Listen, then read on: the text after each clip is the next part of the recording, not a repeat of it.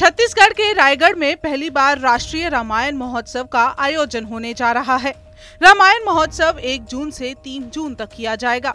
रायगढ़ के रामलीला मैदान में होने जा रहे इस भव्य आयोजन में अरण्य कांड पर केंद्रित प्रसंगों की विशेष प्रस्तुति की जाएगी। वहीं कैलो आरती और सामूहिक हनुमान चालीसा का पाठ भी किया जाएगा। इस दौरान हज़ारों की संख्या में दीपदान भी होगा। इस महोत्सव में देश के विभिन्न राज्यों और विदेशी कलाकार भी शामिल होंगे। महोत्सव में शामिल होने वाली मानस मंडलियों को पुरस्कृत करने के लिए प्रथम पुरस्कार पाँच लाख रुपए, द्वितीय पुरस्कार तीन लाख रुपए और तृतीय पुरस्कार की राशि दो लाख रुपए रखी गई है। भगवान राम हमारे आराध्य तो हैं ही। हमारे प्रदेश का सौभाग्य है कि वे हमारे भांजे भी हैं। हमारी धरती माता कौशल्या की धरती है।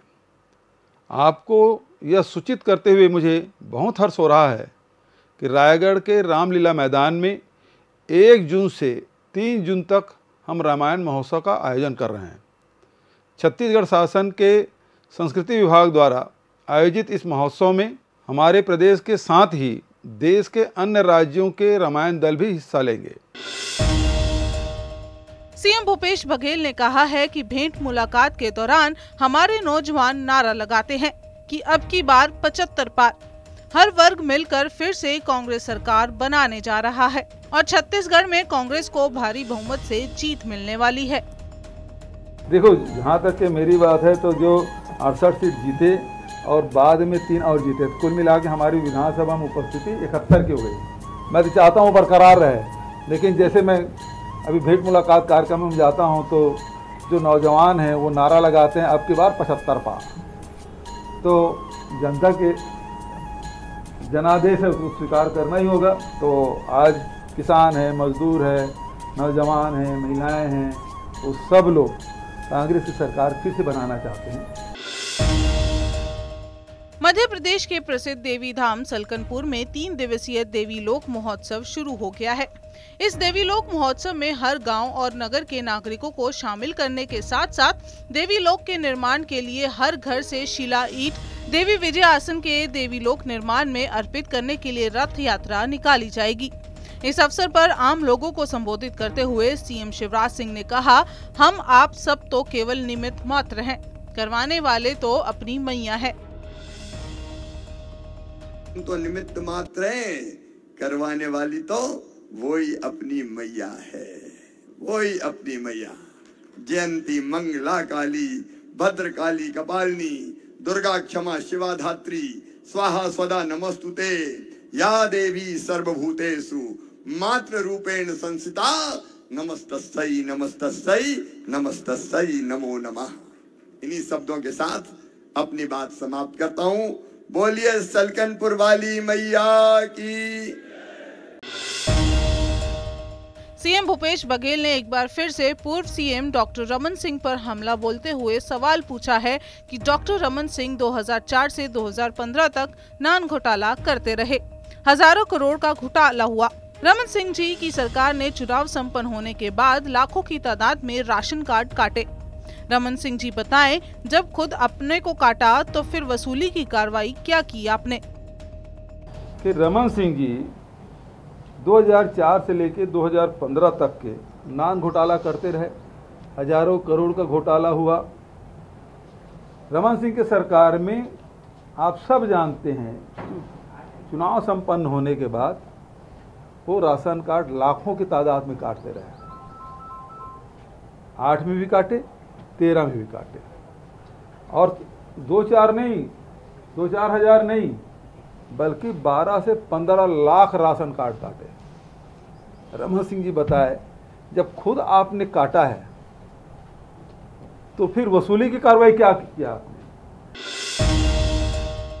पूर्व सीएम डॉक्टर रमन सिंह ने सीएम भूपेश बघेल पर हमला बोलते हुए कहा कि कांग्रेस के केंद्रीय नेतृत्व को निर्णय लेना चाहिए।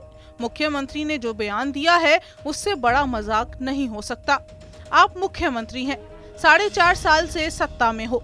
छह साल से विपक्ष में होने के बाद कुल दस साल के कुंभकर्णी नींद में सोए थे। क्या जब कांग्रेस का गला फंसने लगा तो चोर अब शोर मचाने लगे। ये सीधे तौर पर अपनी चोरी छुपाने के लिए भाजपा पर आरोप लगा रहे हैं। मुख्यमंत्री लाडली बहन योजना में मध्य प्रदेश सरकार ने राज्य की महिलाओं को एक हज़ार रूपए प्रति माह आर्थिक सहायता देने का निर्णय लिया है। तय समय पर योजना के अमल की दिशा में महत्वपूर्ण कदम उठाते हुए कैबिनेट ने मुख्यमंत्री शिवराज सिंह की अध्यक्षता में मुख्यमंत्री लाडली बहन योजना को 2023 के बजट और वित्तीय प्रावधानों को मंजूरी दी है। जैसा आप सब जानती हैं, मध्य प्रदेश में आकर्षण का केंद्र, पूरे देश के आकर्षण का केंद्र इस वक्त लाडली बहना योजना है। और इस योजना के लिए आज बजट की भी स्वीकृति कैबिनेट के द्वारा दे दी गई है। एक करोड़ तैंतीस लाख पच्चीस हज़ार से ज़्यादा बहनें अभी इस सब में हो गई हैं और इन पूरे देश का ध्यान इस ओर है और ये फार्म भरना हमारे नेतृत्व और शिवराज सिंह जी के प्रति विश्वास प्रकट करना बहनों का है, बहनों का आभार। उनको 10 जून से पैसे एक हज़ार रुपया महीना आ जाएँगे।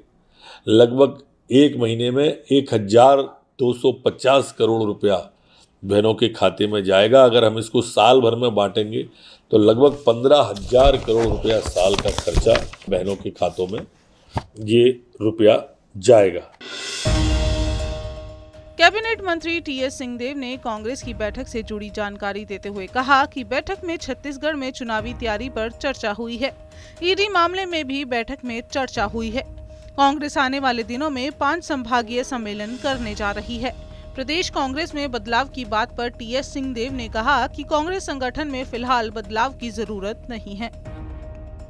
आगे चुनाव की तैयारियाँ, संगठन का काम, कार्यकर्ताओं का मनोबल बनाना, लोगों के काम की तरफ़ और ध्यान देना, जो बचे हुए काम है उनको जल्दी से जल्दी पूरा करने का प्रयास करना। बाकी कोई चेंज को लेके कोई बात नहीं था। काम करने को लेकर पूरी चर्चा थी। अगले 15 जून के अंदर पाँचों संभाग में कार्यकर्ताओं की सम्मेलन होने वाली है। ये तय हो गया, कार्यकर्ता सम्मेलन। मध्य प्रदेश चुनाव जैसे जैसे पास आ रहा है, वैसे ही प्रदेश की प्रमुख पार्टियों के नेता जनता को लुभाने में जुटते जा रहे हैं। खंडवा से बीजेपी सांसद ज्ञानेश्वर पाटिल ने जनता से बीजेपी के लिए वोट की अपील कर दी, जिसका वीडियो देखते ही देखते वायरल हो गया। कांग्रेस ने सवाल उठाते हुए कहा कि क्या बीजेपी सांसद की कलेक्टर की मौजूदगी में बीजेपी के चुनाव चिन्ह कमल पर वोट की अपील? धौस भी। निर्वाचन आयोग व मुख्य सचिव संज्ञान लेंगे।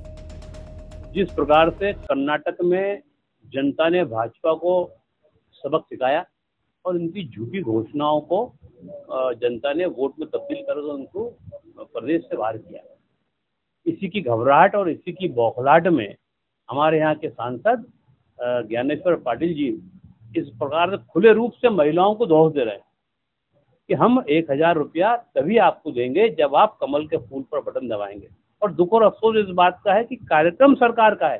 सरकार किसी पार्टी की नहीं होती, सरकार का काम और वहाँ बैठे अधिकारी भी, सरकारी अधिकारी बैठे थे, उसकी मौजूदगी में किसी पार्टी का प्रचार प्रसार करना ये अपने आप में नैतिकता और चुनाव आयोग के नियम कानून का उल्लंघन है। मध्य प्रदेश का मौसम पल पल अपने रंग बदल रहा है। कभी रिकॉर्ड तोड़ गर्मी पड़ती है तो कभी आंधी के साथ बारिश होने लगती है।